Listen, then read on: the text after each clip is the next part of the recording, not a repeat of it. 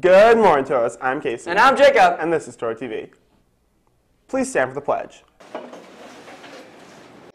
I pledge allegiance to the flag of the United States of America and to the republic for which it stands, one nation under God, indivisible, with liberty and justice for all.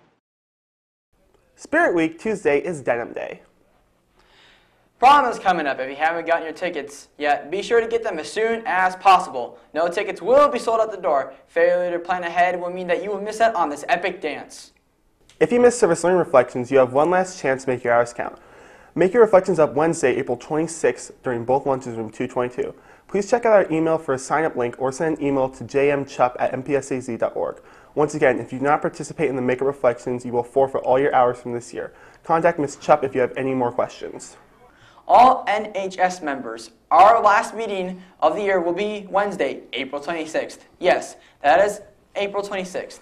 We need to discuss summer service and plan for next year. Meet room 206 during both lunches.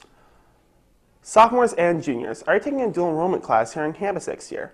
Do you know you have to take a placement test so that you can take those classes? You must register with MCC or Rio first in order to take these tests.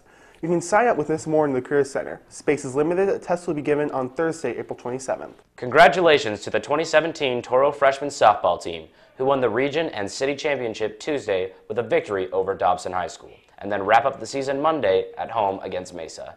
Come on out Monday to cheer for your region champs. This week, we are having a book drive for the Mesa United Way 12 book program. Collections will be in your first hour on Wednesday and Friday this week, or you can drop off books in the office. Here is a video that tells you more about it. Sam I Am restaurants are opening up all over the valley, serving green eggs, ham, and many other delicious options. Now, that's all we have for you today, folks, but we remind you to Breaking news! In Gotham City, the book thief has struck again. America Gutierrez is live at the scene. Thank you, Sage. The incident with the innocent child involving the book thief and the protagonist. Let's cut to some live footage. My books. I just love books so much. Although I wish I had more books. That would just make my life hard. Hey kid, give me that book. Not the book. Never fear. The protagonist is here.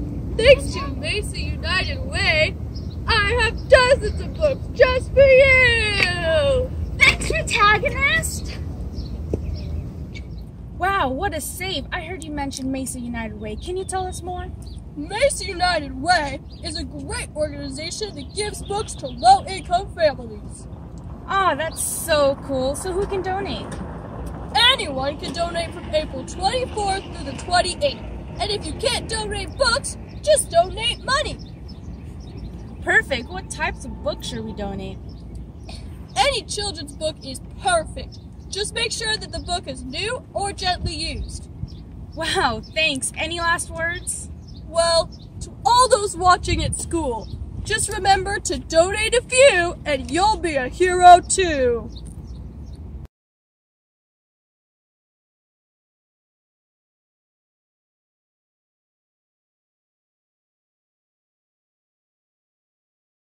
Well, that's all you have for today, Toros. I'm Casey. And I'm Jacob. This book drive sounds interesting. Interesting.